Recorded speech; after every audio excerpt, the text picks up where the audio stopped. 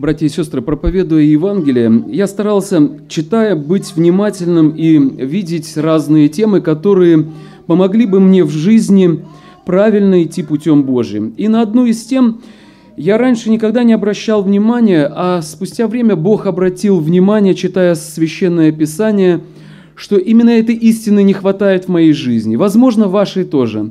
Я вместе с вами сегодня хотел бы прочитать несколько текстов Священного Писания, поясняющие эту тему. Но первый текст, который явно откроет, я думаю, нам эту тему, а потом остальные тексты будут уже а, пояснять, что же мы должны делать, чтобы эту тему воплотить в свою жизнь. Я текст Писания хочу прочитать Псалом 34, 27 стих. Псалом 34, 27 стих.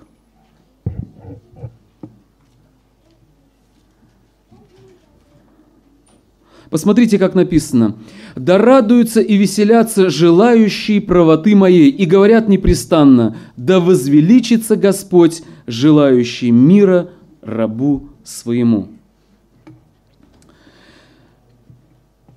Псалом написан человеком, который знал Бога, братья и сестры, и он говорит о людях, которые поддерживают его в его немалом деле – но он подчеркивает, что за люди поддерживают его.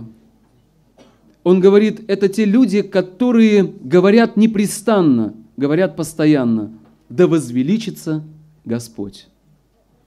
Я вместе с вами сегодня хочу говорить на тему «Возвеличится Господь», да возвеличится Господь. Братья и сестры, мы, люди, на этой земле желаем кого-то возвеличить но чаще всего желаем возвеличить себя. Что значит слово «возвеличить»? Это значит, есть какое-то величие, но ты желаешь придать этому величию величие большее. И ты начинаешь возвеличивать.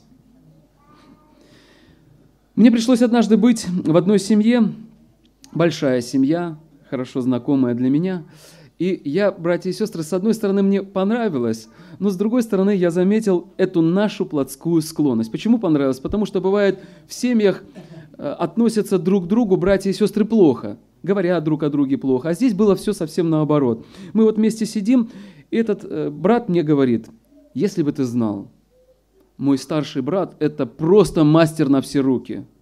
Вот то, что мы сегодня имеем, это благодаря ему. Он бизнес поставил на ноги, он его поставил на лыжи, и мы все пошли вперед. Ну, хорошо. А если бы ты знал, какой мой второй брат? Это аккуратист. Он все делает настолько точно, четко, ясно. Благодаря ему мы научились творческой деятельности в этом бизнесе. А если бы ты знал моего третьего брата, о, я уже все понял, но до папы мы еще не дошли. Вот, если бы мы до папы дошли, я представляю, как бы он папу возвеличивал. Братья и сестры, с одной стороны неплохо, но я заметил нашу склонность возвеличивать окружающих нас. Братья и сестры, мы способны возвеличивать себя. Когда-то давно, по-моему, Николай Степанович у нас на библейских курсах, когда мы учились, рассказывал один случай из одного молодого человека, который вышел после обучения и сказал такую прекрасную проповедь, при которой и плакали, и смеялись, она слушалась прекрасно. И когда он закончил свою проповедь, он выходил из-за кафедры, а там стоял такой мальчик-подросток, он стукнул ему под затыльник и говорит, учись как надо. Ну и пошел дальше. Братья и сестры, мы способны возвеличивать себя.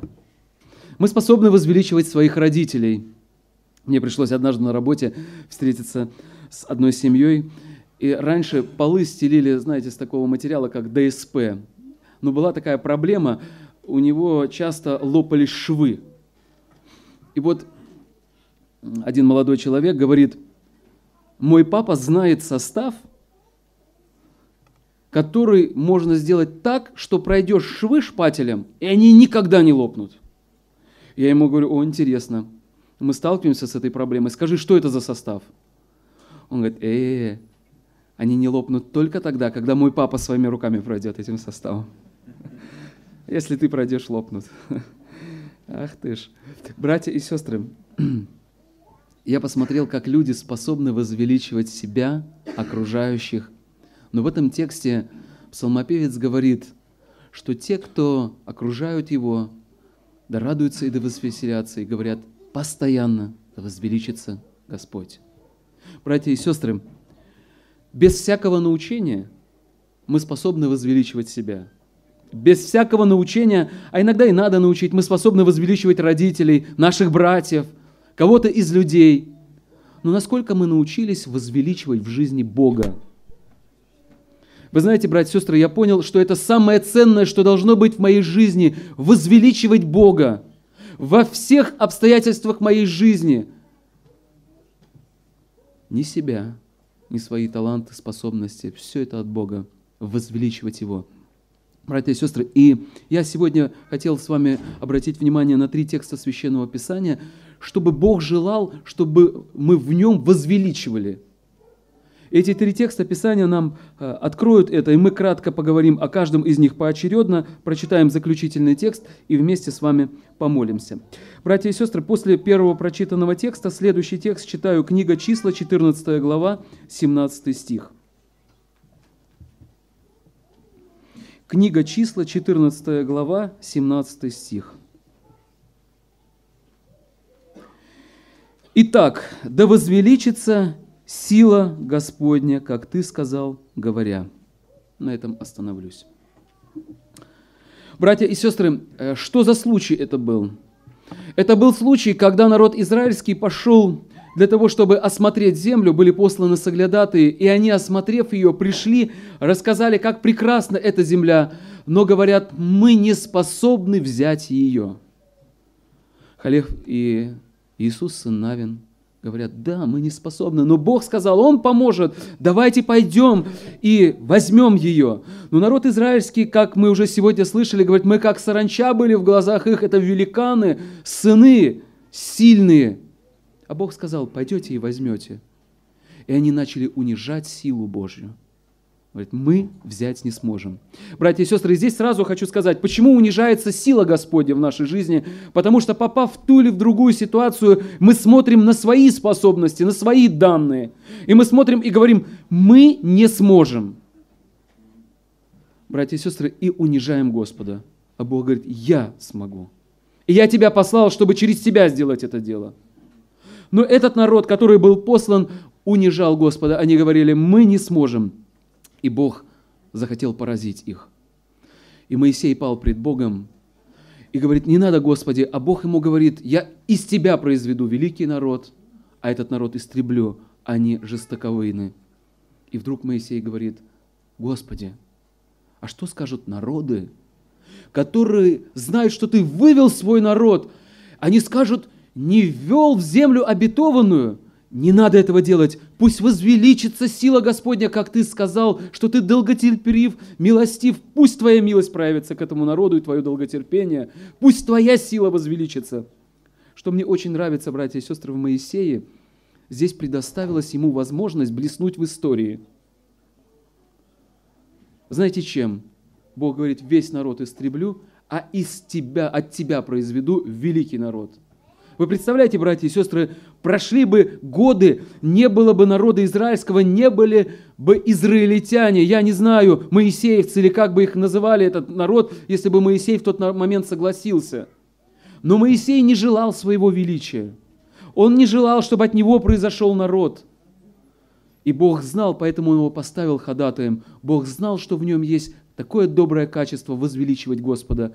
И он говорит, Господи, не надо от меня производить народ – Пусть во всех народах сила Твоя прославится и возвеличится. Пусть все народы смогут сказать, возвеличилась сила Господня, Бог милостивый, долготерпеливый, ввел народ израильский в землю обетованную.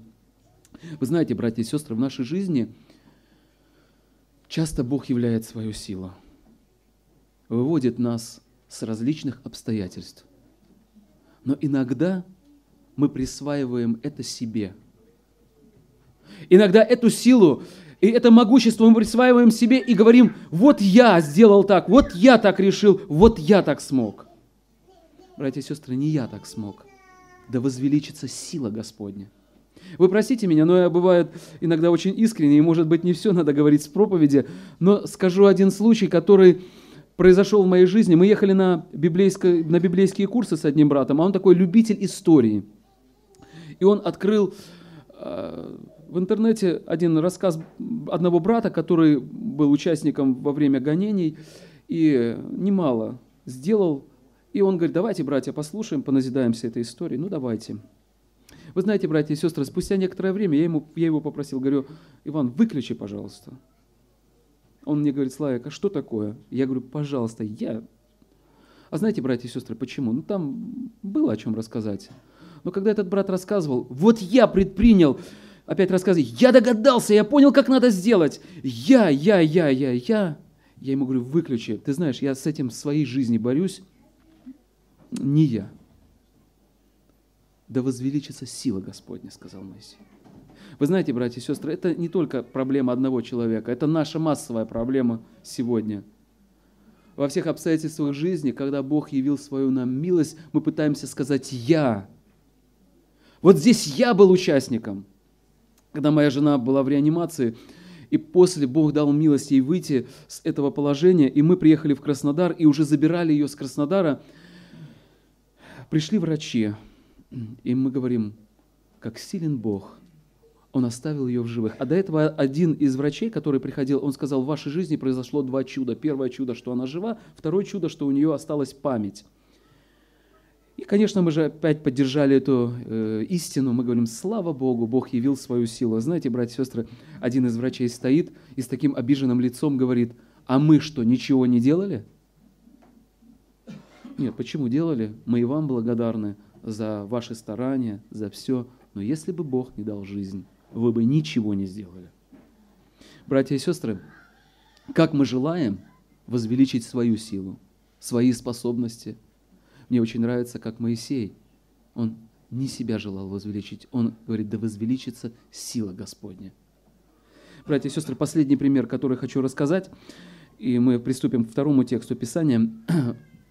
Вот эта мысль мне открылась при посещении одного пожилого брата, больного брата с вечерей. Мы приехали к нему, и э, перед вечерей он мне задал вопрос, ну расскажи, как в церкви, а потом, это было летнее время, расскажи, как в лагере. Может быть, вы знакомы с тем, что в лагере э, мы испытали некоторое притеснение вначале от властей, а потом приехал губернатор края в лагерь. И вот я ему это все рассказываю, что приехал губернатор, что так вот, знаете, добродушно отнесся к нам, расположенным сердцем, потом дал добро к продолжению лагеря. И вы знаете, он сидит и говорит, слава Богу, велик Господь. И мне очень понравилось это. Но вдруг посетила меня, братья и сестры, следующая мысль. Я ему говорю, скажите, а что бы мы сказали, если бы губернатор приехал и сказал, не будет здесь лагеря? собирайтесь и уезжайте. Что бы мы сказали? И вы знаете, братья и сестры, мы попали в такой тупик, в ступор. А что бы мы сказали? И такое ощущение, как будто у Бога нет силы. Тут мы увидели явно силу Божию, мы готовы ее возвеличить. А если бы было иначе, способны ли бы мы были возвеличить силу Господню и сказать, Господи, слава Тебе, значит, Ты так решил. Значит, Ты готов нам открыть какие-то новые рубежи какие-то новые границы, которых мы не знали. Братья и сестры, почему я об этом говорю? Потому что мы, христиане, иногда научились славить и возвеличивать силу Господню, когда все хорошо. Но вот как только вдруг в нашей жизни наступают какие-то трудности, такое ощущение, как будто силы у Бога не стало, и мы не готовы ее возвеличивать. И вот когда народ израильский шел и вошли в море, а народ египетский погиб, братья и сестры, вы помните, что Мариам сделала? Песнь воспела. Она возвеличивала Бога в этой песне. Народ, народ израильский подпевал, а потом они только вошли опять в проблемную ситуацию, не стало воды. Они сразу возроптали. А где та песнь о силе Господней, которую вы пели вчера? Я вам скажу, братья и сестры, одна крайность, что мы возвеличиваем себя, а другая крайность, мы возвеличиваем силу Господню. Только тогда, когда Бог сделал так, как мы хотели. Только тогда, когда Бог своей силой угодил нам. А когда Бог сделал иначе, мы не готовы возвеличивать Его силу. Братья и сестры, да благословит нас Господь возвеличивать силу Господню всегда. Он достоин славы и хвалы. Читаю второй текст Священного Писания, записанный в книге Псалтырь, тоже Псалом 137, второй стих. Псалом 137, второй стих. Это тоже псалом Давида, и сейчас мы увидим его, и вместе с вами прочитав, увидим, что же желал Давид возвеличивать в Господе. Здесь он говорит последние слова такие. «Ибо ты возвеличил Слово Твое превыше всякого имени Твоего». Ты возвеличил Слово Твое. Братья и сестры, нам с вами дана Библия, Слово Священного Писания – и я скажу, что это слово мы с вами можем возвеличивать и говорить о нем как о Божьем откровении, а иногда, когда вдруг нас это слово не устроило, к сожалению, бывают даже верующие это слово унижают. Я встретился однажды с одной сестрой, которая неоднократно читала Священное Писание, но она как бы сестра приближающаяся, уже давно приближающаяся в нашей церкви. И знаете, ей очень не нравится послание апостола Павла особенно э, те места, где он строго высказывается. Вообще строгие места ей вообще не нравятся. Когда речь идет в Библии о страхе Божьем, о том, что апостол Павел где-то говорит, что Господь есть, Бог есть огонь поедающий, о строгости в церкви, о которой он говорит. Вдруг вот она читает эти тексты Священного Писания, и она мне говорит, ты знаешь, Славик, я тебе одно хочу сказать. Я думаю, что не все тексты Писания богодухновенны. Я говорю, не понял. Она говорит, вообще сердцем не приемлю, что говорит Павел. Он, говорит, был приверженец восточной культуры, и вот он ее пытался внедрить в церковь. И поэтому это его особенность, которая осталась при нем, и церкви нынешние не должны воспринимать эту особенность. Я говорю, хорошо, а мне, может, еще чего-то не нравится в Божьем Слове. Давайте и следующую особенность устраним. Мне, может, в Моисее что-то не нравится а другому еще что-то не понравится в Слове Писания. Ну, давайте все будем тогда устранять с этого слова. Братья и сестры, почему Слово вдруг стало не богодухновенно? Нам здесь что-то не нравится. Вы знаете, братья и сестры, один человек очень точно сказал, не надо подстраивать Писание под свою жизнь. Надо свою жизнь строить по Писанию.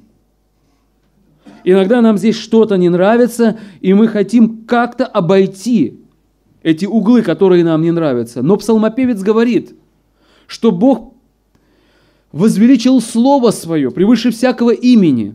То, что сказано Богом, что нам дано, братья и сестры, это выше всякого имени. И какое бы имя человеческое не попыталось унизить это Слово, и не попыталось написать критику на это Слово, Бог свое Слово возвеличил выше всякого имени на земле. Братья и сестры, возвеличиваем ли мы Божье Слово? Или наоборот, нам здесь что-то не нравится. Что значит возвеличить, братья и сестры? Время идет очень быстро. Об одном хочу сказать. Человек может возвеличить Божье Слово исполнением его.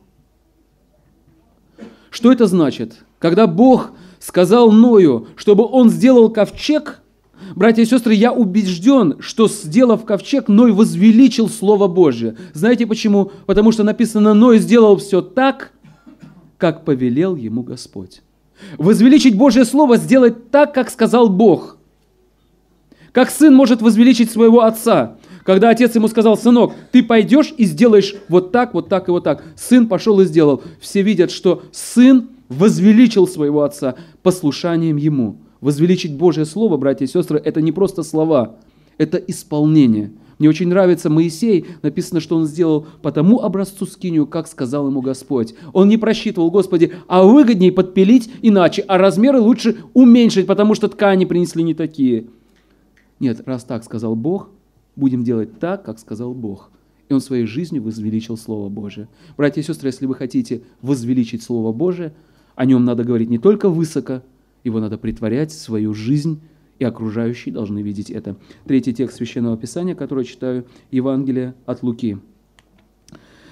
Это случай, когда Евангелие от Луки, 1 глава, 58 стих, это случай, когда у Елизаветы родился Иоанн Креститель, братья и сестры, и в этой главе соседи, увидев, что произошло, тоже возвеличили Господа. Первая глава, 58 стих. Посмотрите, как сказано.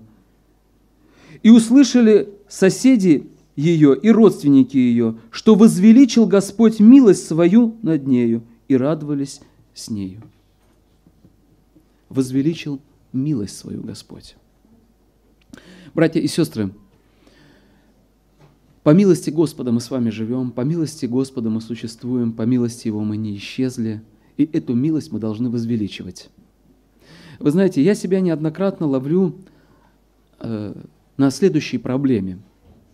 Когда я куда-то выезжаю в дорогу, я очень тщательно молюсь. Господи, благослови, стараюсь молиться, не забывать. Благослови путь, дорогу, храни. А вот когда приехал, я забываю это делать. Бывает, вышел, говорю, слава Богу, и пошел домой. А бывает, вышел, увидели там дети, все, встреча, и забыли. Братья и сестры, а ведь то, что мы с вами проехали, это наше достижение благополучно или это милость Божья? Я вам хочу сказать, стоит возвеличить милость Божию.